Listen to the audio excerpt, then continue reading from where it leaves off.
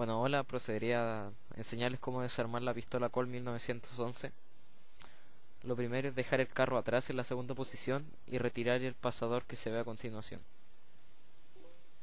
Luego soltar el carro y se deslizará suavemente hasta el fondo y luego procederemos a retirarlo. Retirar la guía de resorte, el tapón por decirlo así.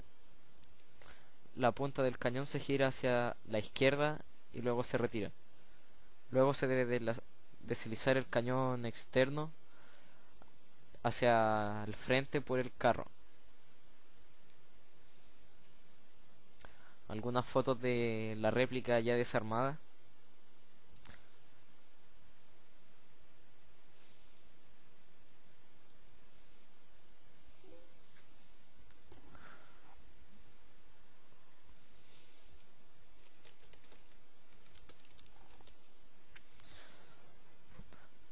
Ahora procederé a enseñarles cómo volver a armar su réplica.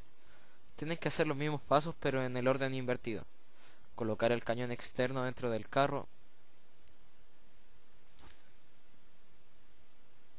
Luego colocar la punta del cañón. Girar hacia la izquierda. Y luego girarla hacia la derecha.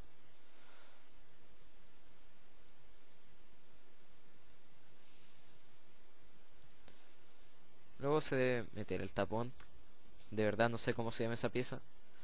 Luego introducir el resorte y finalmente la guía de resorte apoyarla en el chamber de hop-up o cámara de hop-up.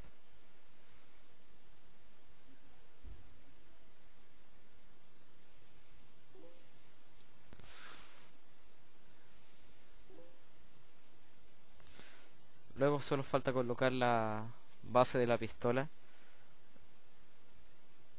en el carro y sería.